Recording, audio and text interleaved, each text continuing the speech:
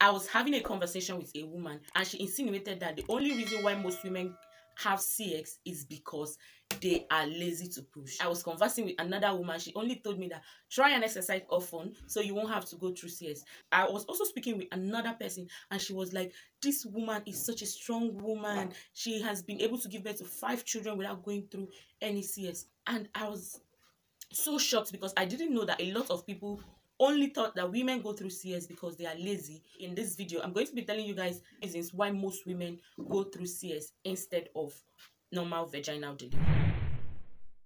Hello guys, welcome back to the channel. My name is Meeknaz and today I'm going to be telling you four reasons why a lot of women opt for CS or go for CS instead of normal delivery. First of all, we have health conditions. There are lots of health conditions that may deter a woman from pushing example bp like when i was about to have my baby and they were saying my bp is becoming high and i just had to go for cs that wasn't because i wasn't ready to push but because i was at a risk of either losing myself or losing the baby. So for me to overcome this i had to go for cs so it was a matter of life and death. We have other conditions like longer labor. When you have longer labor, the baby becomes weak, and as sometimes you are encouraged to go for CS in order not to lose the baby or yourself. So we have a condition whereby the placenta of the baby is below the fetus and a woman is not encouraged to push in that condition if not she might bleed to death so and also if you have a tube or maybe say fibroid down below or just in your womb you are encouraged to go for cs so that they can remove that fibroid and also bring out the baby in good health. Also have condition like when the uterus is too small for the passage of the baby, some mothers are encouraged to not push and go for CS because they might end up giving themselves everlasting. There are other conditions like this that might cause a woman to go for CS health related and otherwise. So next time you see a woman who is opting for CS, don't just think she willingly wants to do it. Though we have women who will say, I want to do CS because I fear labor pain. So we have people like that who fear labor pain and want to go through CS.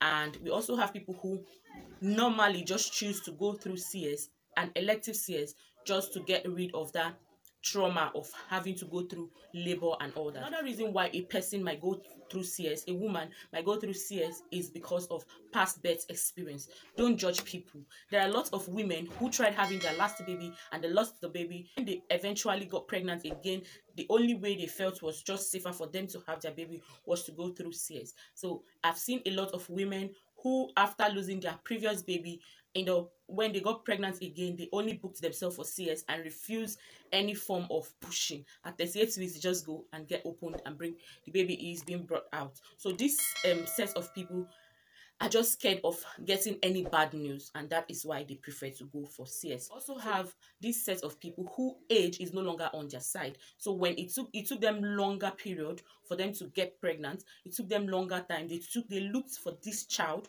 for a very long time and because it is presumed or assumed that CS is safer for the baby to be safe they just go through cs third reason why many people go through cs is because they are being encouraged by the health professionals or by families and friends. So a lot of people who are being encouraged by their health professionals are likely to go through cs i know someone who was to go through cs but the maternity um, center where she attend encouraged her not to go through CS and she tried and she gave birth to her baby. So imagine she did not have that um, maternity center encouraging her not to go through CS because she had no condition that would have led her to that, she would have probably gone for CS. So some people just get the wrong advice or some people get the right advice pending on the condition attached to it and they end up going through CS. So don't judge people when you see them going Last through reason that I'm going to be giving you guys is the position of the baby. There are a lot of women who at their ninth month, their baby is still not in the right position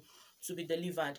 I know of someone whose baby was already in the position, head down, legs up, to be delivered. And during the process of the labor, the baby turned bum bum down, head up, and she had to go through CS. So if your baby is not in the right position and they cannot make the baby come um, into position, you are likely to go through CS. So there are lots of reasons that can lead a woman into CS.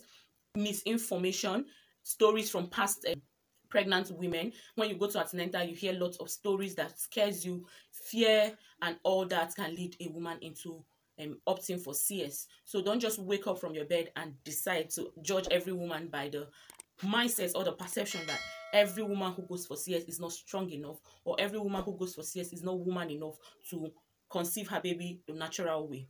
That is not true. There are a lot of things that contributed to that. And even if someone just wakes up and decides to go through CS, don't judge them. You don't know why. You are not them and you don't know how they are surviving.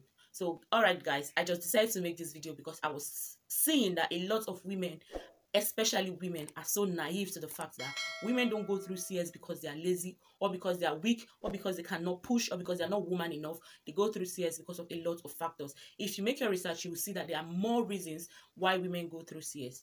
And then you know that it, it's not easy. Alright guys, thank you so much for coming back to the channel. Thank you so much for watching this video. See you in my next one.